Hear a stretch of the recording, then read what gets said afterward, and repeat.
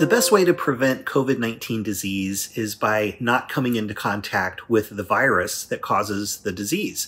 Uh, the virus is primarily spread in respiratory droplets. So when you cough or sneeze, sort of that wetness that comes out, or if you cough or sneeze into your hand, you feel that, those are the respiratory droplets.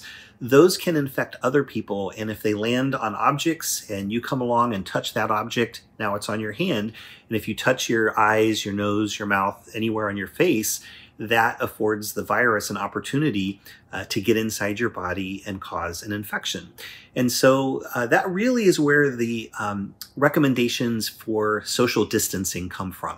Uh, the farther we are away from other people, the less likely that we're going to come into contact with their respiratory droplets. And since we do know that some folks uh, can have COVID 19 and have very mild symptoms or no symptoms at all. And also, we're not really sure how long that you shed the virus without having symptoms.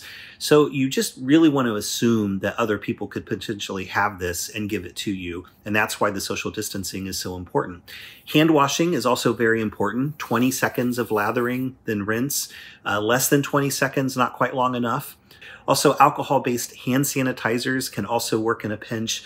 Uh, you want to make sure that it's at least 60% alcohol in order to be effective.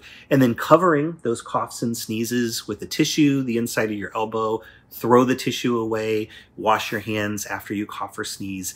And then when you're out in public, really to protect others from your own respiratory droplets, uh, public health officials are now recommending during this pandemic that we use face masks. And you can find plenty of sites.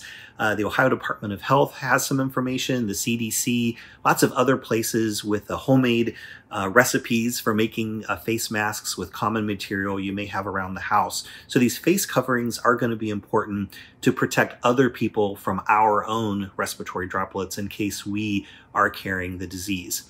Uh, that's going to be important for anyone who is two years of age and older. So young kids less than two, the masks can present more of a breathing and choking sort of hazard, so we do want to avoid those. For those younger kids, uh, but for older kids and for all of us adults when we're out and about, face masks are definitely recommended.